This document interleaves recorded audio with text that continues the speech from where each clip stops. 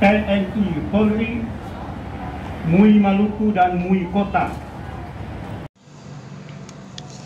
Dalam rangka upaya menekan penyebaran virus corona di Provinsi Maluku, Majelis Ulama Indonesia Provinsi Maluku dan MUI Kota Ambon menghimbau kepada seluruh umat muslim dalam kaitannya dengan peribadatan. MUI Maluku menyampaikan sikap itu menanggapi keputusan Gubernur Maluku yang meminta seluruh komponen masyarakat, lebih khusus lembaga-lembaga agama untuk ikut bersama melakukan pencegahan meluasnya virus corona di seluruh wilayah Maluku. COVID-19 di wilayah Provinsi Maluku memutuskan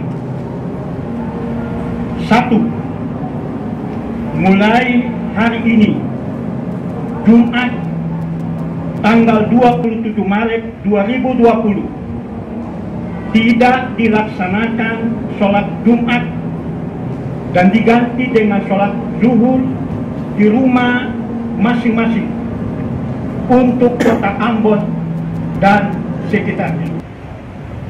Dua, sholat lima waktu dilaksanakan di rumah masing-masing sampai dengan waktu yang telah ditentukan oleh pemerintah Provinsi Maluku bahwa situasi sudah aman.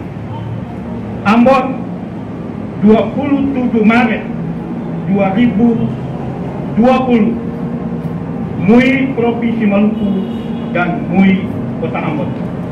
Sekian.